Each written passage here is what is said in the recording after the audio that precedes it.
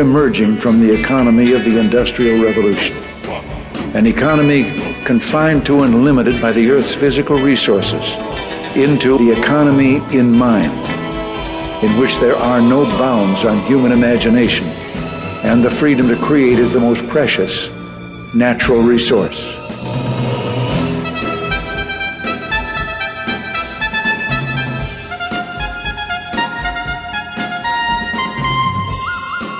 Welcome to the Soul of Enterprise Business and the Knowledge Economy, sponsored by SAGE, energizing business builders around the world through the imagination of our people and the power of technology.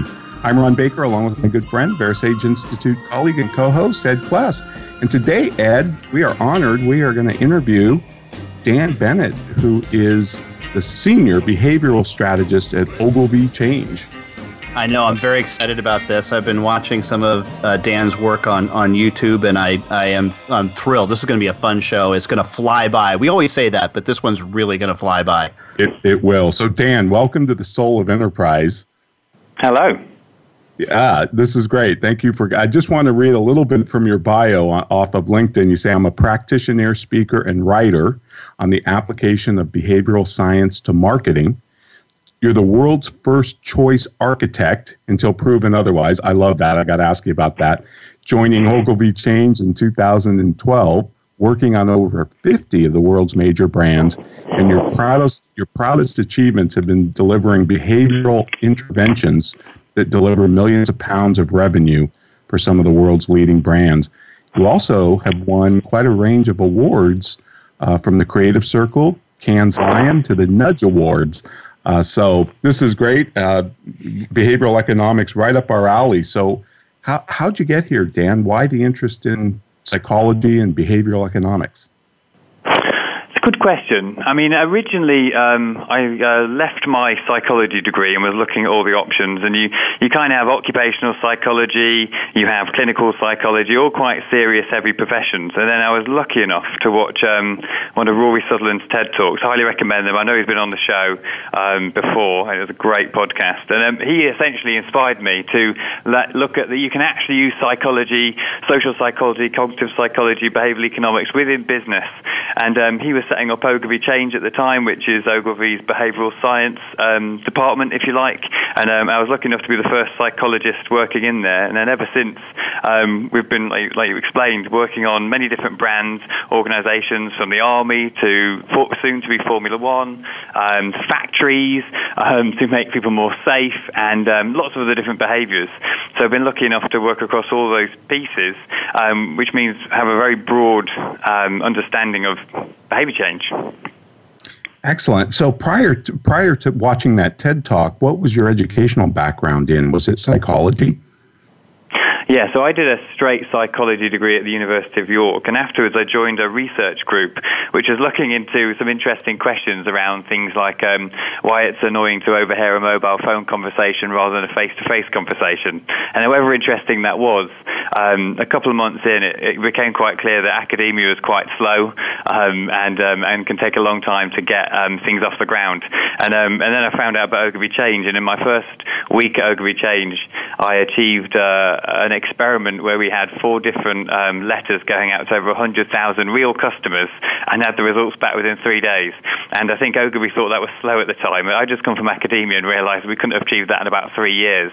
So, so yeah, the excitement of going from doing a psychology degree to actually making things happen within the week was a bit too much it's the ultimate laboratory, isn't it? You guys probably get to do a lot of A/B experiments and other types of experiments.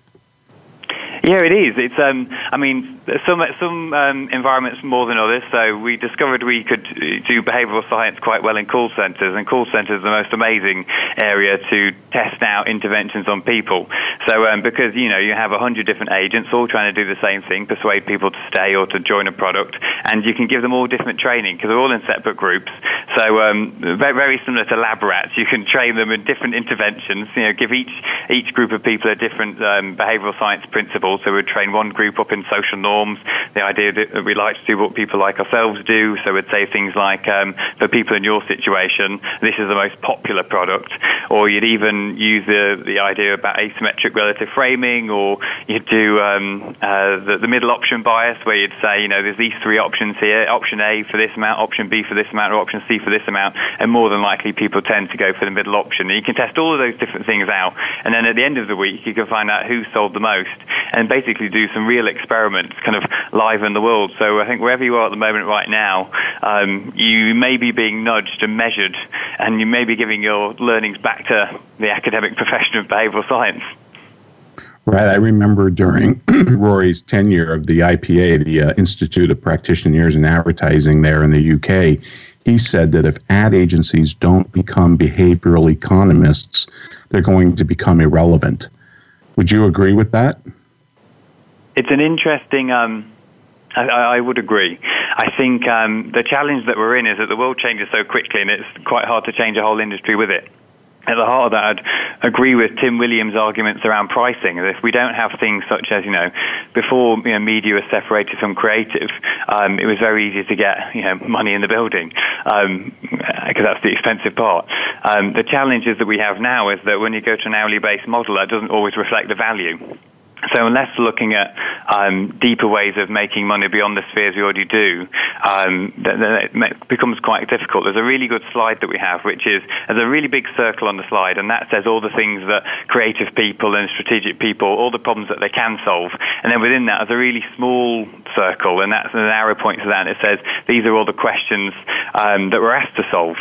And essentially, what we're saying is you can use creativity, um, you can use strategic thinking, you can use behavioral science on top of that to kind of supercharge it to solve many different problems. So some of the problems that we've been solving lately have been how might we get people to wash their hands um, in a food processing plant when they go in and when they leave, or how might we increase safety behaviours? And it's not, I think it's not very often an ad agency gets asked those types of questions, but it is the types of skills that, that we can answer. So by going back up to laddering up to the principles that actually change people's behaviour and very pure and academic level, you can then dive back down into many different industries and, and use those powers for many other, other things.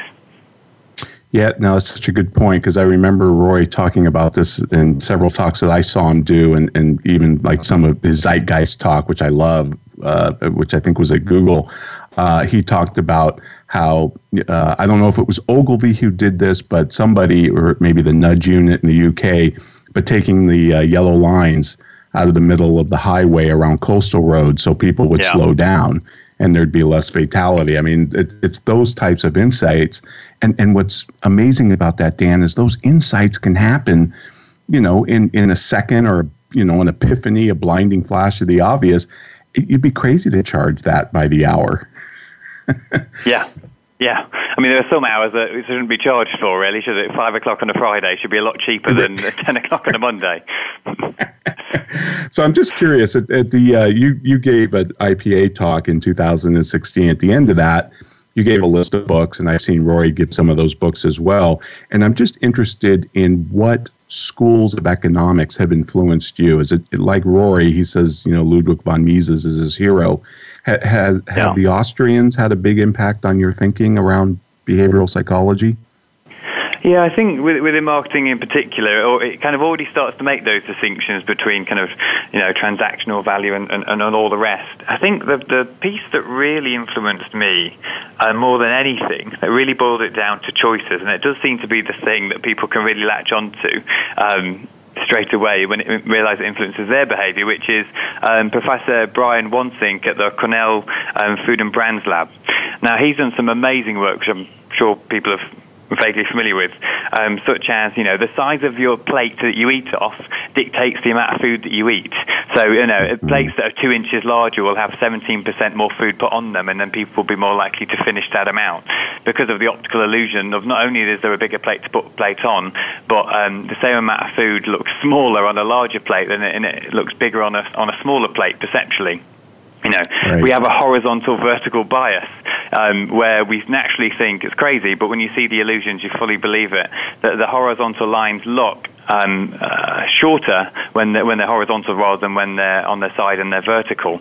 So if you want a, you know, even free pouring bartenders, uh, many years into their jobs, will actually pour more into a short fat glass because they're still underestimating the width of the glass that compared to tall thin glasses. And it was those types of interventions, um, you know, the similar one with an with an ice cream cabinet, an ice cream freezer. You know, even the presence of a, a see-through glass lid that you had to pull across was enough to reduce the amount of ice cream that was bought by 8% compared to an open um, open uh, freezer cabinet. And to me, that was unbelievable. That, and especially in marketing, when you realize you can spend all the money you like on advertising, you can create so much desire, but unless you've really solved that, what you might call the last mile problem, it's it's not going to work as hard as it should do. So I think you know, refer to Rory again. Um, if you start with the coupon at the end, um, then any work you do in, in, terms of increasing motivation is going to work a lot harder. We re- recently had a brief uh, for recycling, getting more people to recycle in London, and there was lots of conversations about how we might make it more people more motivated to want to recycle. You know, do you pay them? Do you give them a group goal? Do you tell them how brilliant it is that people in their area are doing it? All those things could work, but fundamentally, unless they have the right set of bins in their house, unless they have a landfill bin and a recycling bin separate, um, then they can't do anything else. So we actually focus the campaign uh, towards getting people to have the right, what psychologists would call facilitating conditions for them to do the work. So I think the, bi- the biggest influence to me has been Brian Wansink, just because he really made it very concrete about, about how really subtle shifts in the environment can, can shape our behaviors yeah, as you say, small ideas can have can have enormous effects, and that, that is so true. I, am going to ask you a question that we got to ask Dan Ariely when we interviewed him, and it's it's a linguistic question, but I think it's important. Ludwig von Mises was very deliberate in using the term human action because he believed that all act, you know, all human action was purposeful. We act with a goal in mind, and this this term behavioral behavioral economics always kind of bothers me because animals behave. My dog behaves, but humans act. Do you have any qualms about the, the terms for this discipline, or should we just get over this? I, I, think we are um, what um, Gerald Ashley would uh, describe as a mess um, when it comes to the language of behavioural science. But um, and, and I think it's in, an interesting debate. But at the end of the day, you know, I mean, whether it's called behavioural economics or behavioural science or psychology, for me is, is more of a marketing branding job to be done rather than ma- making sure that it works perfectly. If I say psychology in a meeting to a new client, fear will come over their face and um, they will feel like it's um, some kind of manipulative device to get people to do things, where it is just another form of persuasion, um, because psychology has so many implicit connotations with. Um, subliminal advertising with um, kind of mind mind washing. You know, in the UK we have the magician Derren Brown who does a lot of mind reading techniques, and it feels like more in that kind of space. Whereas what we're really right. talking about is making sure that we design a kitchen correctly to make people make the right choices. Um, so it's far from it. So the big rebranding job that was made from turning psychology into behavioural economics slash behavioural science, I fully welcomed. And um, and for me, it's not really when you said get over it. I, I smirked myself because that's, that's kind of what I really think. Really, it's more about just getting the right branding to make sure that we're showing the discipline in its best light than it is about fe- feeling around, you know, um, the comparison between animals and humans and, and those types of things. I like the behavioral science, the term behavioral science, because behavioral economics, been true to itself, would be more more in the mathematical space. With the behavioral science, you can usually um, talk about a wide enough set of disciplines to answer any kind of question that we might be seeking. Evolutionary psychology, I think, and biology plays a big role in making sure that we get human decision making correct, for example, and that wouldn't fit very well under behavioral science. So the one that's the biggest umbrella, I feel, is uh, the one that excites me the most. Right, and and like you said in your talk, this is nothing new for ad agencies. I mean, I I don't remember the guy's name, but he was famous. But he was the one that came up with the idea that you should have to crack the egg in the you know the Duncan Hines cake mix, and it, it, he actually had all these really uh, you know esoteric reasons why it was a sign of fertility. But you were also engaged in the process, and therefore you owned it more. I guess it's like the endowment yeah. effect or the IKEA effect or whatever. So, uh, Dan, this is great, but we're up against our first break, and folks, we'd like to remind you you can contact Ed or myself at asktsoe at verasage.com. We will post full show notes with our interview with Dan at thesoulofenterprise.com and link to his IPA talk. And now we want to hear from our sponsor, Leading Results.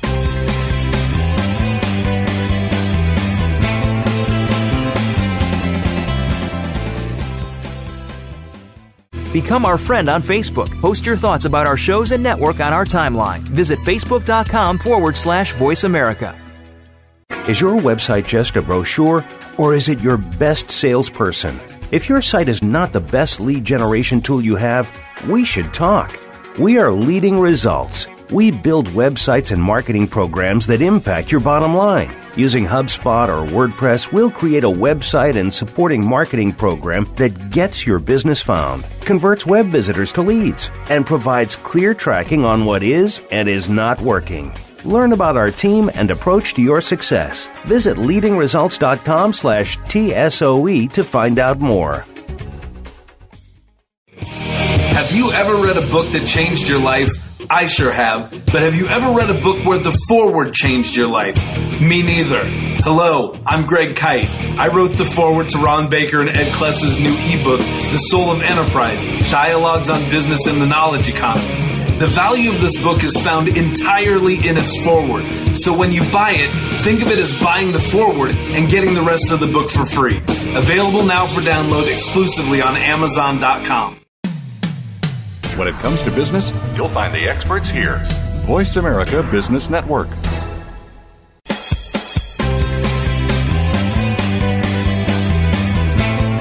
You are tuned into The Soul of Enterprise with Ron Baker and Ed Kless. To find out more about our show, visit us on the web at thesoulofenterprise.com. You can also chat with us on Twitter using hashtag AskTSOE. Now, back to The Soul of Enterprise. And we are back here on the Soul of Enterprise with the first ever choice architect, Dan Bennett. And I will let Ron ask you that question, Dan, but I, wanted to talk a, a little bit about uh, the talk that you did for for IPA and unpack a couple things. The, the, the one, and I just want to make sure that I have this clear, you, you talked about how 95% of our decisions are made by the, the Homer Simpson area of the brain, right? The, the, the, uh, the, the yeah. cerebellum, right? Our primitive brain and then 5% are are made by the the and by the way it, this little tip it's Mr. Spock. I'm sure you got that not Captain Spock. Uh, there there are, are, Star Trek people who are very sensitive about that. Not me but I'm just, they, they come to me all the time. Like okay cool. Um, but anyway th- that that uh, five uh, percent are done by the the Spock portion of the brain, and the Spock uh, uh, issues the post rationalizations for this. But I, I, think I heard you said something that was slightly different from that, and I want to make sure that I, I heard it correctly. And that is, it's not 95% of the decisions here and 5% here. It's 95% of the decision. So it's of like an individual decision. So regardless of what the decision is being made, there's always an element of the, the Homer piece in there. Is that correct? Yes, we tend to. I mean, it's very easy when we're, when we're reading these books like Thinking Fast and Slow and Dan Ariely's books, and to really start to think about there are some decisions which you do without thinking in your unconscious brain, and some that you do um, with um, with your conscious brain. And it's a question that comes up quite a lot with clients. Actually, clients that are you know business to business, they think, well, we're communicating to really really clever people who are thinking very logically about spending logical money, and um, and so they go, well, actually, you know, all of our decisions are going to be Mr. Spock, not Captain Spock Decisions. and um, and uh, it turns out that you know every single decision that you make is going to be a combination of both the subconscious. Um, uh, figure, figurations of the brain and, and the conscious ones. And whereas usually clients go, you know, if it's business to consumer, if we're speaking to normal everyday people, then, you know, we're going to have a bigger balance of automatic decisions. And it's just simply the case that we have both. Uh, the, the biggest, um, or the best uh, diagram I think we have of this is looking at it's more about not in a Freudian way, but thinking about if you think about a big iceberg, 95% of the iceberg is actually below in the water, and only about 5% of it is above ground. Um, and that might five percent might be where we think we make the decisions, but actually a lot of it's made deep down. So if you think about, um, you know, when you choose your life partner not many people are listing out the attributes that um, they are seeking in that partner, and then they'll go on several dates and they will um, score those partners on all those attributes and then figure out which one they want. Similar when you go into buy a house, you're not looking at um, looking you know, we like all these things about these houses. What actually happens is you kind of like house number three, and then you go back and post rationalize that spreadsheet into the form that you want, so your actual Mr. Spock brain is happy with the decision that the Homer Simpson brain makes. You know, that wouldn't be the case. There wouldn't be experiments such as, you know, houses that have a certain um, carpet when you walk in or carpet smell or, houses that smell of freshly baked cookies actually in, leading to the increased desire of you wanting to have that house if we were that rational about decisions. So it is a big thing. It is, I mean, it, nobody really knows about the, the, the, pure distinctions between the two, but every decision you make is an interaction between, between both parts of the brain. And one of the things that, that has always challenged my thinking on this, and I think Dan Ariely does talk a little bit about this, and perhaps Kahneman, but at, at what point are we crossing over from let's call it nudging to manipulation? And it, it, do you and are you concerned with that when you, you do your work? It's like hey there's a difference here between nudging people to the quote correct choice and i'm just using that as a shorthand to I, I, i'm really pushing people and manipulating them in some way yeah, it's a really good question, and I think um, it's one way you have there is a big responsibility to make sure that everybody practices persuasion um, ethically and is doing the right thing and is working on brands that they believe in and aren't going to cause um, due harm without any um, with with any overconsumption. So, but I do I do sit in the same lines as. Um, as persuasion in general, rather than being much different about the, using behavioral science to persuade people all we're really doing with behavioral science, I think, is kind of codifying, having a set of principles, universal fundamental human principles that we can understand better how we are changing someone's behavior. So whether we're pulling the social norms lever or whether we're pulling the loss aversion lever or whether we're pulling a scarcity lever. All we're really doing with behavioral science is giving ourselves a common language for all of the persuasion industry, if you like, to understand why it's working, that we can deploy it in a different way it's really, I feel, it's like um, a hammer. You know, a hammer is a powerful thing, and it can do very good things like build a house, and it can do very bad things um, like k- kill a man. Um, so it's really about it is a, it is a tool, and you just have to make sure that you're working on brands and products that you believe in, and are not designing things in a way that's more of a shove than a nudge. Sure, sure. Um, and and I want to ask about some practical applications of this. One of the, one of the things I, am curious if you've done any research on charm pricing or 99 pricing a, at all, and whether is that still something that, that we should pay attention to. I, one of uh, let me give you an example. I noticed that Apple uh, is a is a, a, brand that that uses 99 pricing. Right, the latest version of the iPhone is 899 or whatever. However, they did make a shift in their Apple Watch. Their high end Apple Watch watch is seventeen thousand dollars, not sixteen nine ninety nine, right? And I'm wondering if has there have you done or have you heard of any research with re- regard to, to charm pricing? It's a really interesting area, and um, if if I think if anybody has an answer, I think we'd all love to hear it. And I think it's because it's one of these things where there are so, um, and it'll be making them a lot of money. It's um, apparently uh, you probably know this, but the, reason why they started doing 99 pence um, pricing in a retail many many years ago was simply so there was actually a transaction that required the till to the cashier to open the till um, yep. to, or the, the checkout. So the reason why 99 pence came in is you would hand over a pound coin and someone would have to open the till and not put that pound coin in their pocket and pretend the transaction never happened, but they would have to put the pound coin in the till and give you a penny back. And actually, that was that was much more of a profitable thing to do than it was than to have the amount of um, uh, product that was stolen from the store as a result of it being part of the cashier's job. So I think that that's kind of where it started. And um, when when a couple of years ago we actually did a big piece with our academic panel. So we reached out to UCL, we reached out to um, Edinburgh, we reached out to lots of different academic departments, and we uh, with kind of business professors, and we said to them, you know, we're looking into this piece about pricing this product. It was a newspaper product, and whether it should be a, a round pound price or whether it should have the the, the 99 um, pence um, Hock as a part of it. And they basically said, after the years of research we've all done on this, we can't come to a consensus between us. And really, the only way you're going to find out the answer is to test each product individually. So whether Apple there are looking at simply doing live testing in the market, um, or whether they have some insight, it's, it's hard to know.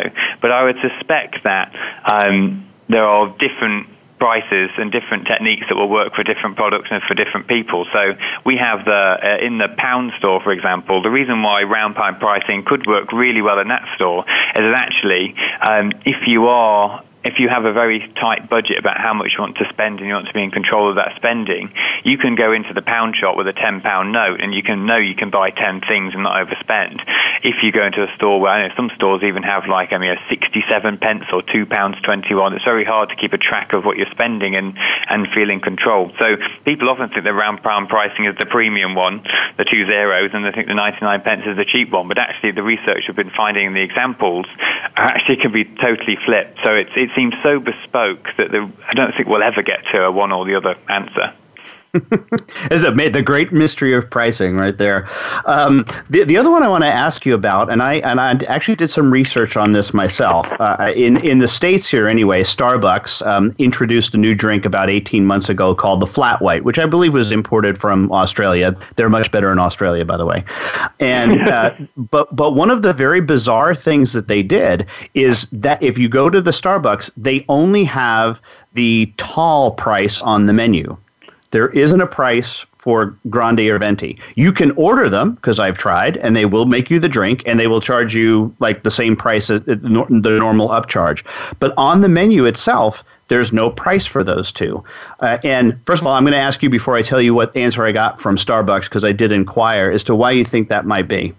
Uh, presumably, it's an opt-in versus an opt-out situation. So the default suggestion that you have is the one that most people will go with, and then you can opt in by knowing about it and going in. And presumably, with a with an opt um, opt-out pricing, it's a much more you get a lot more people doing the one that's on the menu. I suspect. Hmm, interesting. Well, I, I, I, I, I actually asked several baristas, one of whom finally took it back to the district manager. The district manager got in contact with me and said that they would call Starbucks corporate. And about two weeks later, I get a phone call and they said that the response was, "Sorry, we can't answer that question. It's proprietary marketing information." I would have just let the cat out of the bag on that one then. but uh, well, maybe, and I, you know, and I, I don't, I don't rightly know why.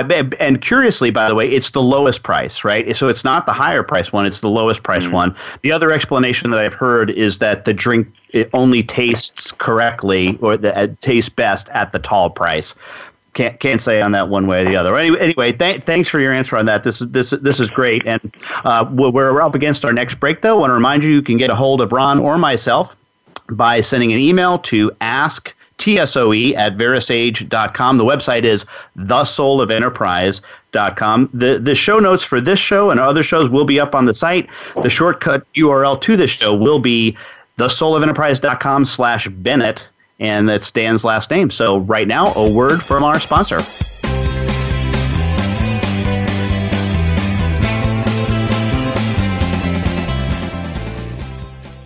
Think you've seen everything there is to see in online television? Let us surprise you. Visit VoiceAmerica.tv today for sports, health, business, and more on demand 24 7.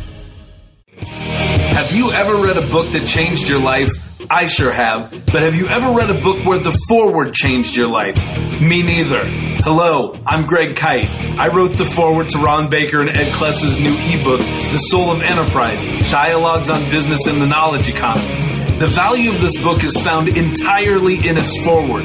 So when you buy it, think of it as buying the forward and getting the rest of the book for free.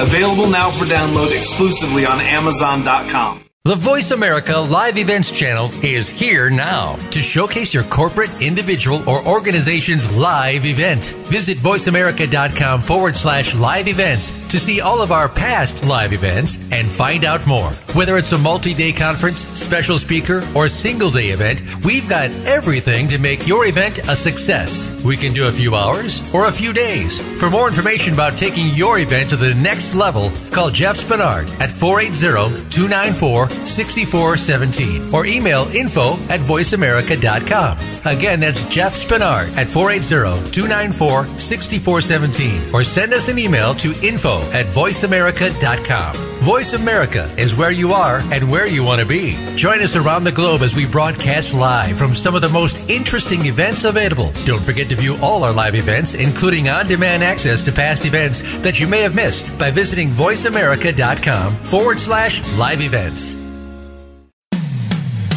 When it comes to business, you'll find the experts here. Voice America Business Network.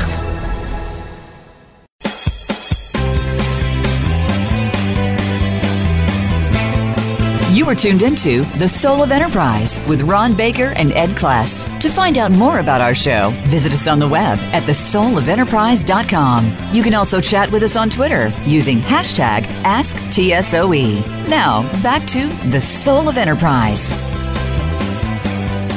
All right. Well, welcome back, everybody. We're here with Dan Bennett, the Senior Behavioral Strategist at Ogilvy Change.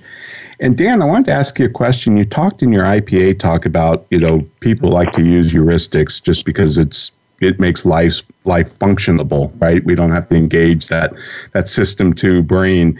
And I love the example you gave about when you walk into a restaurant, they ask you about water, and there's probably a right way to do this and a wrong way. Could you kind of explain that? Yeah, really interesting piece of psychology here that waiters are using, probably without even knowing it, actually, which is um, it's all about placebo choice, really. So if you go into a restaurant and someone says to you, uh, "Would you like water? Yes or no?" You've got two options there. Yes, you can have the water, or no, you can reject the water quite politely. If some, if the waiter comes over to you and said, "Would you like still or sparkling?" You've got two yes options there, and you would have to opt into saying the no. And the biggest thing you'd have to opt in saying tap water, which is the most embarrassing thing, but the thing that most of us actually want to do most of the time. Um, but by giving the two yes versions and having a silent no, you actually increase the amount of people that will, that will go with the water. Other things that can do that are the presence of the type of glass on the table. So restaurants that lay out wine glasses sell more wine, and restaurants that then um, lay out cocktail empty cocktail glasses when you sit down at the table will sell more cocktails. The presence of the water glass will dictate whether you have water or not. Um, so really, really small things. Even as going as far to when the um, when the, the main meal is taken away, if you put a sugar pot on the table, you will then increase the likelihood of the amount of people that, when requested, um, order coffee. So really, really small placebo choice things at the dinner table are affecting our decision making without us knowing it. Right. You made me think of all the, you know, I've, I've read about uh, menu engineering, as it's called, uh, without, you know, posting prices without dollar signs and, and not putting yeah. pictures of the food and, and, and playing classical music in the background makes people feel wealthier so they spend more. And it, yeah. it, just it is so right about these very small effects. But the, I, lo- I love that. The placebo choice is great.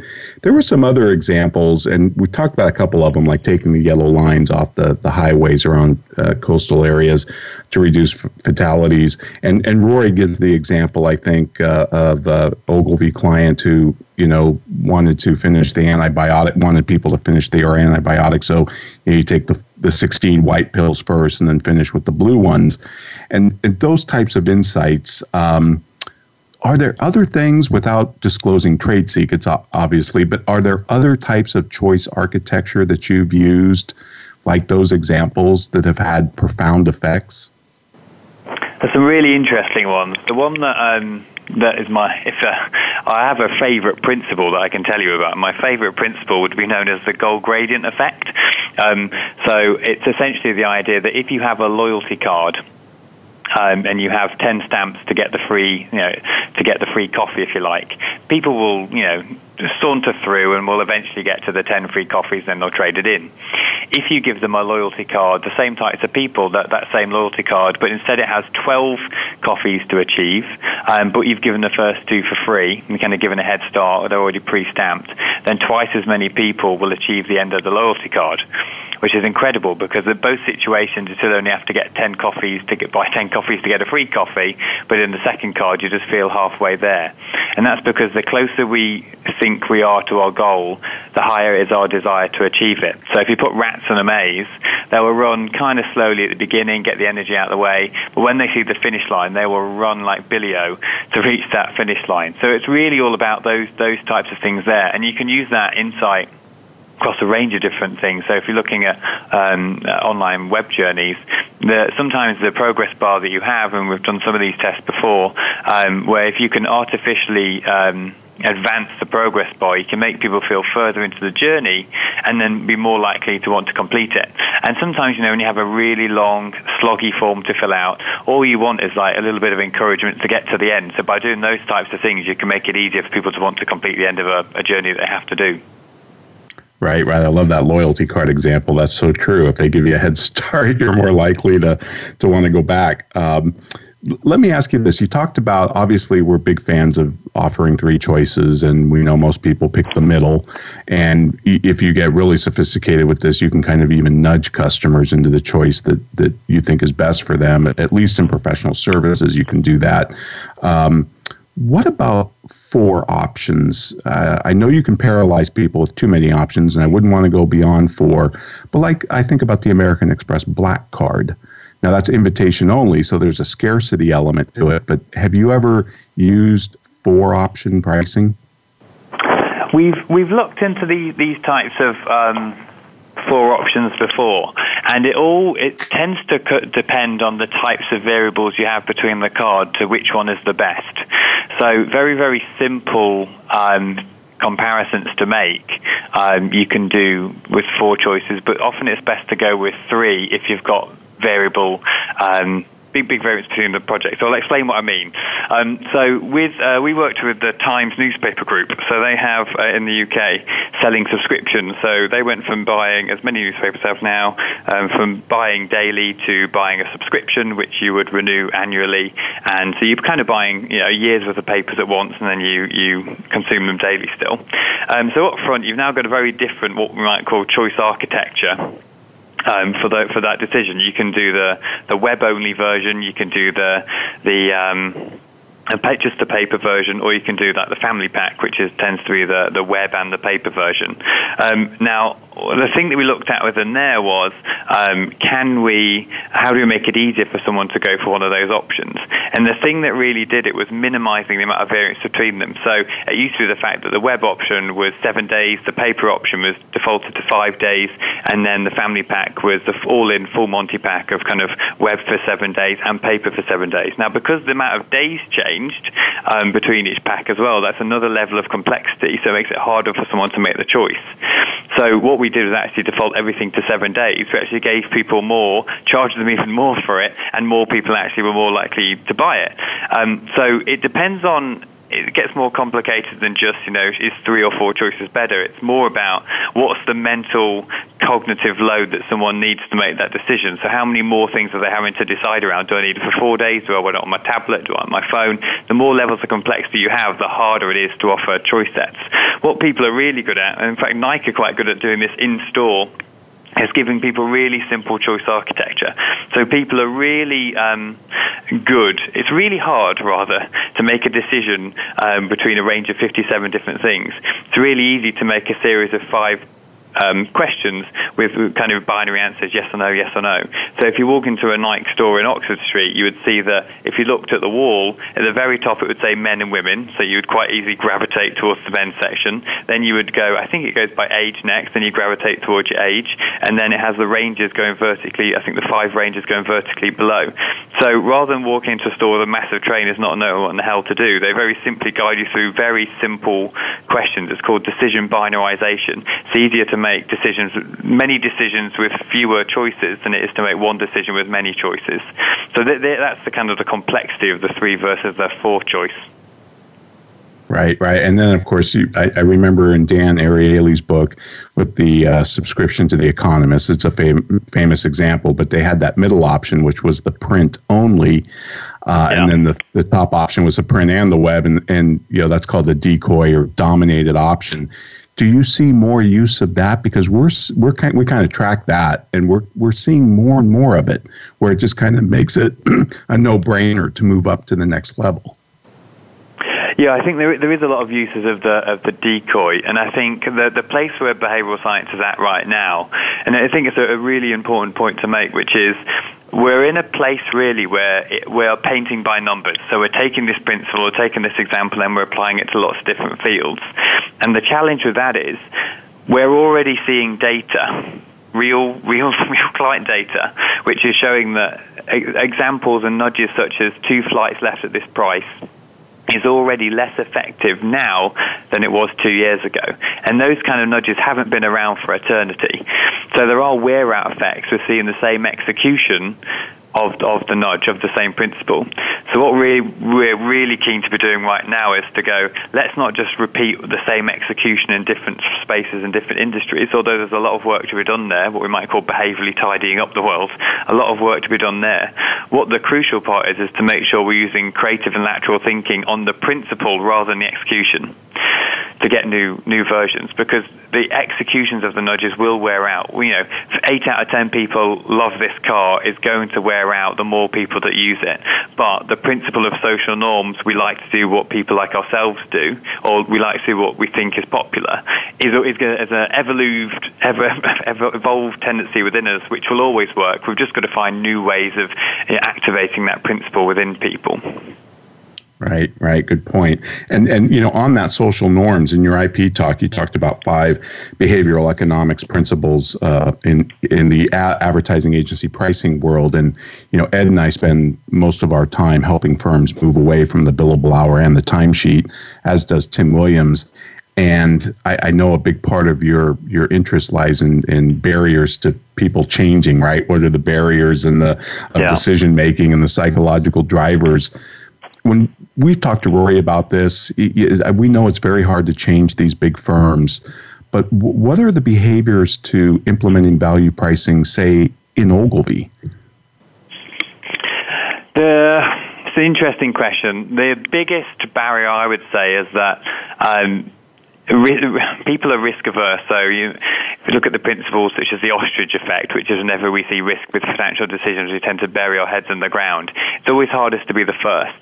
So within Ogilvy and kind of across the industry, um, it is it is difficult to be the first person to um, implement value-based pricing because there's a chance that it will go wrong and you will look bad for making that decision personally. There's a threat to your career as a part of doing that, and you're you're um, doing well within your organisation. There's also a threat that compared to four other agencies, all with fixed fees versus or you know hourly hourly costed, um, you are going to be the more expensive one. I think also you know people have fixed budgets on the client side, and it's quite a scary scary thought to think that the, the the cost of the project, if you like, is variable because of our mental accounting structures. We like things to be neat and tidy, done and dusted quite quickly.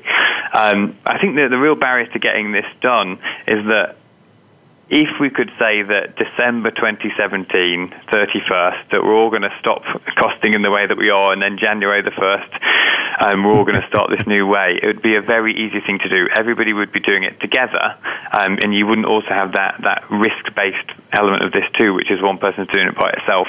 From a social norms point of view, if everybody was doing it, it'd be very easy to do it, essentially, from my point of view.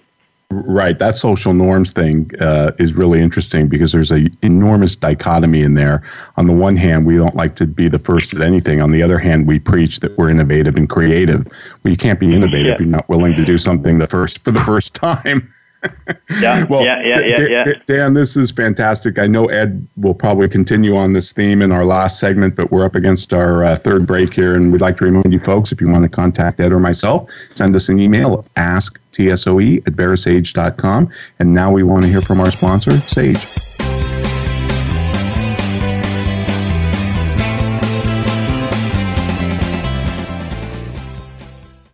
Follow us on Twitter at VoiceAmericaTRN. Get the lowdown on guests, new shows, and your favorites. That's VoiceAmericaTRN. Wherever your business is headed, Sage has the cloud solution you need to enable mobile accounting and simplify financial management. Discover how moving your financial data and accounting processes to the cloud can transform your business. Cloud accounting software from Sage can help you make better decisions, drive faster responses, and gain greater control. That's cloud accounting for the journey. For more information, visit sage.com forward slash US forward slash SOE. Have you ever read a book that changed your life? I sure have. But have you ever read a book where the foreword changed your life? Me neither. Hello, I'm Greg Kyte. I wrote the foreword to Ron Baker and Ed Kless's new ebook, The Soul of Enterprise Dialogues on Business and the Knowledge Economy. The value of this book is found entirely in its foreword. So when you buy it, think of it as buying the foreword and getting the rest of the book for free. Available now for download exclusively on Amazon.com. The business community's first choice in Internet Talk Radio. Voice America Business Network.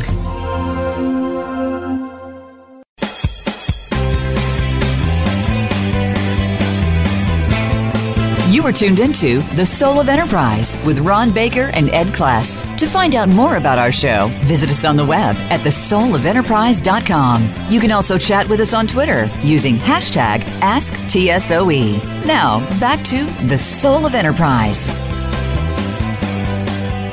And we are back on the Soul of Enterprise with Dan Bennett. Dan, thanks for much so much for being on. If we don't get a chance to say thank you at the end, which we often do because we have so much we want to get in, so uh, we want to just say thanks for being a guest on the show.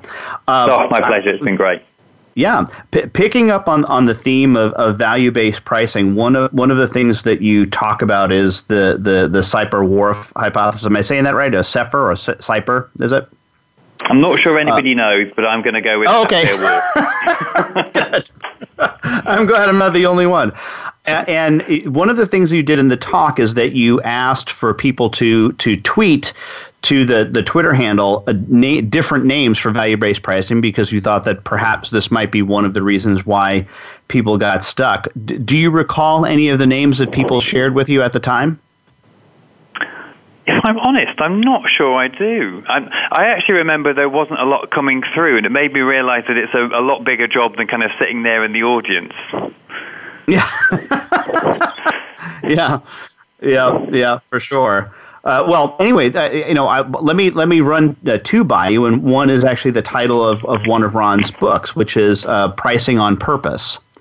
And then the other one would be pricing with purpose. I actually tend to like the latter more, pricing with purpose. And and again, this would be the name that we would use internally at the firm. One of I, have had a, a number of conversations with people that have made this shift, and my suggestion to them on talking to customers is just call it a price. Don't overthink it. Just call it a price. Yeah. Yeah, we're trying to ban the, what we might call the C word of cost as much as we possibly can. I think on the back of your advice, actually, or in Tim's advice, um, pricing with purpose seems to be a lovely one because people, the, human brain is very, very sensitive to sniffing out people's intentions uh, behind their actions as well as just their actions. So we're always trying to seek out why someone's done something or why something offers, offers of something rather than uh, what they've just offered. That's often what the brain is busy doing whenever it sees a choice. Um, and it's quite an interesting one. Pricing with purpose for me shows that we're really aligned to kind of caring about getting the best outcome. You really make the conversation about the outcome rather than the inputs.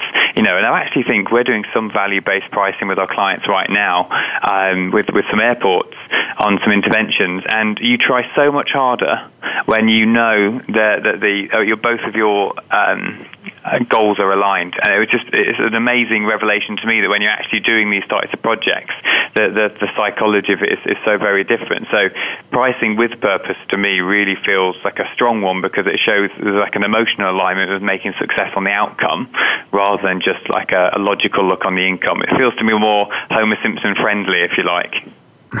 Yeah, I, I, think so too, and I, I, really do like the, the the width exactly for what you just said, and that is, hey, there is an there is an intent behind this, and one of the things I learned from a, a guy by the name of Mahan Khalsa, I don't know if you've studied his his work, um, mostly on the sales side, but he says is people are going to assign you an intent whether you want them to or not right? Yeah. And then he's so they're, they're going to have an intention. So you might as well just state what your intent is, right? Yeah.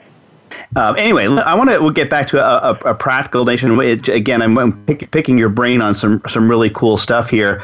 I, you you alluded to this a little bit earlier in your conversation with Ron, and and I honestly think that one of one of the, the great innovations eh, that's that's come out of the, the digital marketing space is the notion of, of massive A/B testing right? And how, how we can get the message to the right person so quickly. But one thing that, that confounds perhaps a lot of the people in our audience, which tend to be smaller businesses, is what what's the smallest valid sample size? Can you do A, A B testing if you're sending out an email to 50 people, 500 people? Does it have to be 5,000 people? It, it, does there seem to be a, a, a cutoff point where it, it, it makes sense?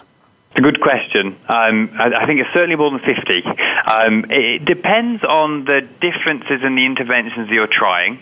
It depends on the variance of the data. So if you're trying one word different to another on, a, on an email of 400 words, First thing I'd say is don't have an email with 400 words from a cognitive overload capacity. The, the second thing would be um, that, that, smaller changes tend to need bigger sample sizes, and also response rates with more variance in them, as I said, tend tend to need bigger sample sizes. There is actually a really good website which I'll make sure I send to you so it can go in the show notes, hopefully, which is a samples online sample size calculator, and it's not perfect, but it's certainly a good steer when you're trying to do something quickly in a business. Fantastic. Yeah, I think that'd be great. That we would uh, both. I would like to see that, and I'm sure many folks in our audience will too.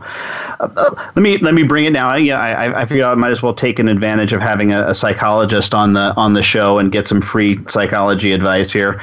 And that is, I often have, and I think that the older I get, the more this happens to me. Uh, I have an idea in my head that is in my head crystal clear but I'm but it's becoming harder and harder for me over time to articulate it to other people. Is that just my brain getting old? Perhaps. I mean, there's so many variants in there; it's hard to say. Um, I, w- I would say that, that one of the best techniques for getting over that is actually through the power of images. So if I, if you in my head, I could say the word um, light bulb, and um, it could be totally different to you, when the image that you have in your head when you say the word light bulb. So the biggest technique with um, looking at with an ogilvy is kind of what we might call visual planning. So if we're trying to understand the brand now, what we don't do is use words because words mean so many different things to so many different people. What we do do is sit around with say 40 different relevant magazines, pulling out pages of things that feel uh, relevant to us for that brand or for that concept and then we'll stick them all up on the wall. So you can communicate with people much quicker. It's a system one to system one communication tool is to use images than it is to use words because, like you say, words can mean so many different things to different people, and it can be really hard to articulate them as well. I think also uh, later on in the day, I tend to get quite tired, and it's quite difficult to articulate myself. Um, so maybe it's a bit of that as well.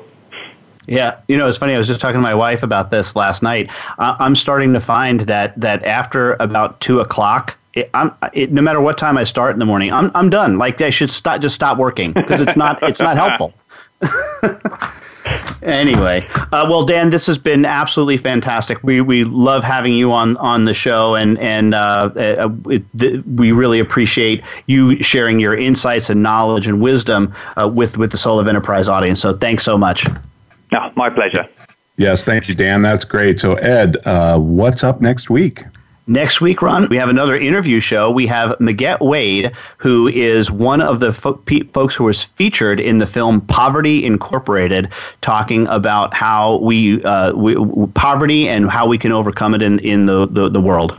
Oh, fantastic. I look forward to it. I'll see you in 167 hours.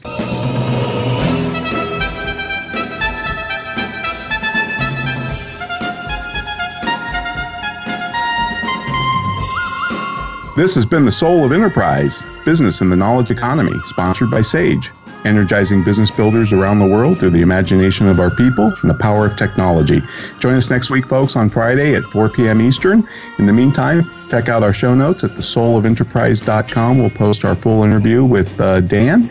And in the meantime, you can contact Ed or myself at asktsoe at verasage.com. Thanks for listening, folks. Have a great weekend.